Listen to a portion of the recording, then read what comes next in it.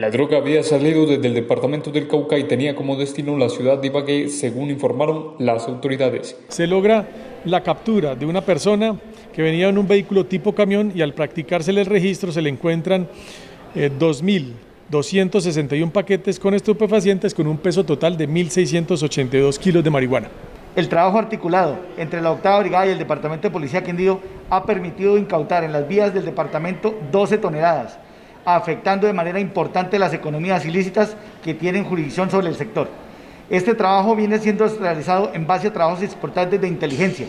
En este caso, logramos establecer que desde el departamento del Cauca, entre, los entre municipios de Corinto y Toribío, inició el desplazamiento de este vehículo y tenía como destino final la ciudad de Ibagué en el departamento del Tolima. Continuaremos afectando las economías ilícitas que tanto hacen daño a la sociedad y a la economía del eje cafetero.